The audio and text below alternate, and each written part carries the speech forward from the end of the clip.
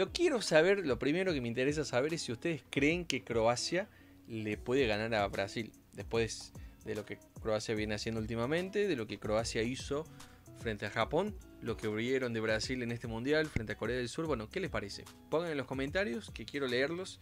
Si a ustedes les parece que se puede haber batacazo, si Croacia le puede llegar a ganar a Brasil o Brasil está, a menos que pase un accidente muy loco, ella está en la, en la semifinal del mundial. Bueno, vamos a analizarlo un poquito lo que dejó el partido. Vamos a empezar por el partido de Croacia, casualmente hablando de ellos primero. Vos fíjate que Croacia mantiene un poquito algunos jugadores importantes de lo que fue el Mundial 2018, donde llegaron sorprendentemente a la final, porque en el 2018 y ahora tampoco, nunca fue un equipo espectacular, una super máquina. Siempre un equipo competitivo que tiene un crack como Luka Modric, que es un jugadorazo impresionante. Tremendo crack, juega muy bien, pero obviamente esos jugadores, viste, que te arman la batuta, tipo Pirlo, que te manejan el equipo, pero está grande, no es alguien que te va a gambetear 15 eh, jugadores y tampoco es alguien que hace goles, porque juega en la mitad de la cancha, de armar el juego, entonces necesita que Perisic, que otros jugadores terminen eh, definiendo. Eh, Lobren es el defensor que maneja la, la saga central, ya estaba en 2018, después bueno, Obviamente Modric en la mitad de la cancha maneja todo. Kovacic es ese jugador que estuvo en el Chelsea, en el Real Madrid. Eh, amenazó ser más gran jugador de lo que ha sido hasta ahora. Eh, Kramaric, Perisic y Petkovic adelante. Croacia con el típico 4-3-3 sin lugar a dudas eh, de cómo juega. Una Croacia que es muy pragmática, no inventa cosas raras, no vas a ver movimientos así. Uh, mirá, che, qué jugada interesante, diferente que hicieron. No, es siempre muy, muy básico el juego de Croacia, muy pragmático. Intenta manejar los partidos y cocinarlos y lucharlos. Sabe que no tiene demasiado.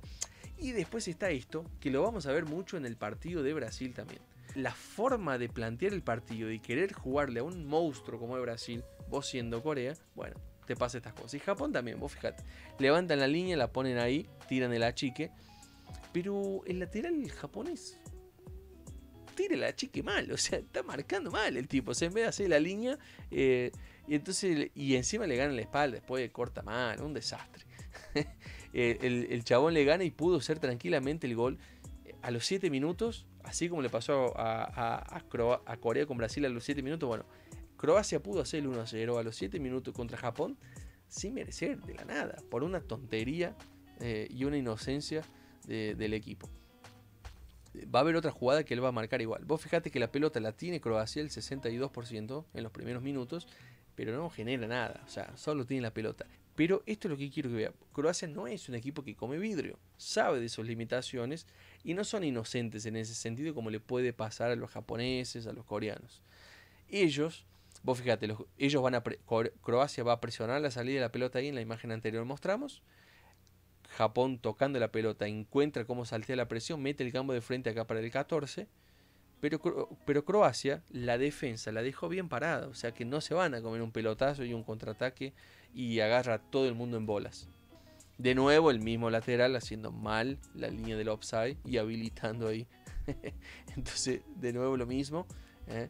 No, no termina en, en nada la jugada, pero son situaciones que, van cometiendo. Lo que decíamos antes, el 4-3-3 clásico de, Croacia, sin inventar cosas, cosas diferentes. Un partido que no dejó nada, ¿eh? no, pasó demasiadas cosas en el partido. Cuando marca ves exactamente lo mismo, 4-3-3, o sea, no hay cosas raras. En, Croacia bueno no te vas a inventar un encuentro, un equipo que cuando tiene la pelota hace una cosa, cuando no la tiene hace otra, nada muy diferente. Siempre va lo básico. Está bien si se tiene que meter atrás y no presionar. Y esto es la segunda mitad del primer tiempo, como les decía, cuando Japón domina el partido y empieza a tocar la pelota, poner a Croacia contra un arco, que no es que se sintió incómoda, ¿eh? se sintió bastante cómoda, pero bueno, Japón se va a terminar encontrando con el gol, el 1 a 0, al comienzo del segundo tiempo, Croacia lo va a terminar empatando. Son algunas imágenes para que vean cómo en ningún momento Croacia queda mal parada por meter presión adelante y un contraataque. Si está perdiendo, bueno, puede ser que eso termine pasando, pero no así. Partido muy chato, muy de dormirse. Eh, y en los penales, bueno, los japoneses patearon demasiado mal, un desastre como patearon los japoneses. Y bueno, y ahí tranquilamente Croacia se clasifica a cuarto de final. Creo que Croacia puede ser un rival que sea más competitivo con Brasil por causa de eso. A mí me parece que Japón, al igual que Corea, Japón es mejor equipo que Corea, claramente, pero comete ese tipo de situaciones, viste, que los croatas no van a hacer eso, no, no van a intentar hacer la épica, sino van a intentar complicar, ser lo más inteligente posible para complicar el partido a Brasil. Si es que tienen alguna chance, va a ser así. Brasil sale a jugar con Alison Becker. Militao, Thiago Silva, Marquinhos y Danilo. Acuérdense que los dos laterales izquierdos están lesionados. Alexandro va a poder volver y Alex Teles no, se lesionó, está fuera del mundial, igual que Gabriel Jesús. Neymar volvió hoy y Danilo también volvió hoy, que estaba tocado. La mitad de la cancha, el doble 5 con Casemiro y Paqueta, como el primer partido frente a Serbia. Neymar como una especie de media punta. Zurdo por derecha, Rafinha. Derecho por izquierda, Vinicius Jr. Y de 9, Richarlison. Ese es el equipo brasilero, sin demasiados secretos. Pero sí Brasil tiene algunos movimientos interesantes de juego. Si ustedes ya han visto los videos de este canal desde el comienzo, que hablamos de Brasil, ustedes van a haber visto que hablamos siempre de que Brasil es una selección que juega a definir las jugadas y a no elaborar tanto el juego. No se preocupa mucho por la elaboración de juego. Y vamos a ver algunas imágenes. Fíjense ustedes. Acá les quiero mostrar unas cosas. ¿Qué es lo que Brasil hace? Los tres de adelante. Trey Charlison, Vinicius Jr. y Anthony por las puntas. Y Neymar, que es el cuarto es el media punta que se suma como delantero a veces. Y hace un 4-2-4 Brasil. A su vez, a veces sube los laterales, como por ejemplo, o eh, Danilo se sube al ataque eh, para estar allá en, ofensiva y terminar como un punto también al filo del offside. O a veces Paquetá se adelanta también y suma. ¿Para qué eso? Para complicar a la defensa, sumando mucha gente en la línea. Si ustedes ven el partido entre Inglaterra y Senegal, eso tanto Inglaterra como Senegal lo hace también. Fíjense el informe sobre ese partido que lo van a ver. Pero ¿a dónde está el tema de la confusión de Corea, un equipo muy verde? Vos fíjate acá, como Brasil, con los cuatro defensores, estira a Danilo ahí y pone a Neymar como delantero. Entonces ya quedan mano a mano los cuatro centrales, porque Corea no se mueve del 4-4-2, queda mano a mano la defensa central y encima el lateral se proyecta. Y con eso ya, ya le desarman por completo. O sea, movimiento muy simple y ya, ya se pierden. ¿Por qué se pierden? Porque van a, van a ver ahora lo que va a pasar. Que ya estamos en la jugada del gol. O sea, ay Dios. Vos sos Corea. Vos sos Corea. Jugás contra Brasil. ¿Me entendés? Sos Corea del Sur y jugás contra Brasil. Brasil, un equipo candidato a ser campeón del mundo, eh, el, de los mejores equipos, lleno de jugadorazos, y vos sos Corea del Sur. A los 7 minutos, a los 6 minutos de partido, te olvidas de marcar al segundo mejor jugador de ellos. ¿Cuál es el jugador más famoso de Brasil? Neymar. ¿Cuál es el segundo? Vinicius Jr. ¿Y qué pasa? Vinicius Jr. totalmente solo. Pero totalmente solo. Pero déjate de joder, hermano. Si te pasa eso a los 90 minutos, a los 80 minutos, bueno, puede ser te cansaste, una desatención. Pero a los 6 minutos de partido, en, el primer ataque de Brasil, Vinicius Junior totalmente solo. Pero déjame de joder, loco, ¿cómo puede ser? O sea, es demasiado, o sea, facilitan demasiado las cosas. Y obviamente, si vos dejas a Vinicius Junior totalmente solo, ¿qué va a pasar?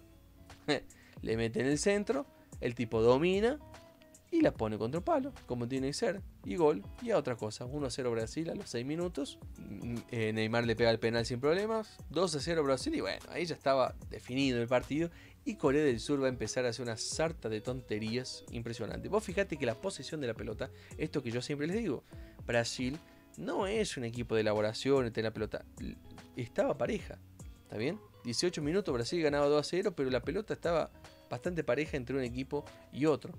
¿Está bien?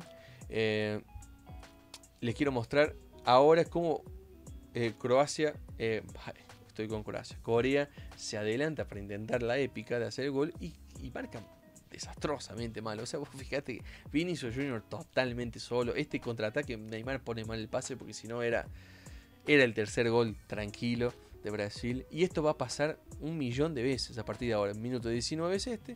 Ahora, en el minuto 24 solo quiero eh, hacer este detalle que es lo siguiente. Brasil cuando no tiene la pelota, compacta las líneas también para hacerse sólido para que no le entren. Y tiene una función que es lo siguiente, que hacer un 4-4-2, a veces dejando a Neymar y Richarlison como los hombres para la contraataque, y le pide siempre Tite a Vinicio Jr. que componga por izquierda y a Rafinha que componga por derecha. Pero como ya lo vimos en los otros partidos, frente a Serbia, frente a Suiza, Vinicio Junior le cuesta eso. Vinicio Junior en el Real Madrid no hace eso, es solo delantero. Él y Benzema se quedan solo para atacar. Y también es un desperdicio que eso pase. Y bueno, y ahí es un punto débil de Brasil. Si hay algo que se puede aprovechar por Brasil, claramente es hacerle el 2 a 1 al lateral izquierdo, porque en algún momento Vinicio Junior no va a volver, no se va a comprometer, y bueno, por ahí podés hacer daño. Entonces, Corea no lo pudo aprovechar, no tuvo ni cerca de, aprovechar eso, pero bueno, es una situación que se puede dar desde ahí. Del otro lado, Rafinha sí es mucho más comprometido, sabe que no le sobra nada y si no se esfuerza, no, no juega. Bueno, otro contraataque a los 25 minutos, de nuevo, Vinicius Junior totalmente corriendo solo, la desperdician en la jugada de nuevo, pero era cuestión de tiempo para que sea gol. Minuto 28, un golazo de esto. Brasil no es, un no es un equipo, como lo hemos dicho siempre, que te va a dar 30 pases y te va a armar una tremenda jugada como España, toqueteando, o como el gol de Julián Álvarez a Polonia con 25 pases, que no. Lo de Brasil es cuando está en tres cuartos de cancha, en el área rival, ahí, en el vértice del área, ahí ellos te arman una pared o te arman una gambeta, te meten un centro y te resuelven el partido. Ahí arman buenas jugadas. Siempre hay en la mitad de la cancha medio que el equipo es medio previsible, lentón, cansino, parece que no juega bien, pero cuando llegan ahí, los tipos te arman una pared, te hacen algo y, con eso, con una triangulación, te arman una jugada. Fue lo que hicieron acá, toquetearon ahí por el medio, Richarlison quedó solo en el punto penal después de una muy buena triangulación, gol de Brasil. 3 a 0, un partido que ya estaba liquidado desde el 1 a 0, ahí ya era goleada, tremendo baile, Minuto 30, vos fijate de nuevo como 4 contra 4, pero los coreanos totalmente marcando mal. Podría haber sido gol también, sin ningún tipo de problemas. Minuto 35, este va a terminar en el gol. Otro contraataque de nuevo, 3 contra 3 y qué sé yo. Abren la pelota para Vinicio Junior, va a venir el centro atrás y termina en el gol 4 a 0. Tranquilo, 35 minutos, 4 a 0, no pasa nada. Vos fíjate que todos los goles de Brasil, los estoy mostrando acá en las imágenes, son goles con espacios. ¿eh? Son goles o el penal o la jugada del primer tiempo, el primer gol de Vinicio Junior, todos goles con espacio. Hay espacio y Brasil juega. O sea, porque Corea, y es eso lo que digo, son equipos demasiado inocentes que te juegan, o sea, loco, estás jugando contra Brasil, hermano. Date cuenta que no es lo mismo que jugar contra Qatar. Vos en la loco, en la eliminatoria de Oceanía, en la asiática, perdón, no en la de Oceanía, en la eliminatoria asiática, vos a Qatar, a los Emiratos Árabes, no sé a quién, a Taiwán, vos le jugás con esta estrategia, con la defensa en la mitad de la cancha, con todo, con todo ese modernismo y le ganás.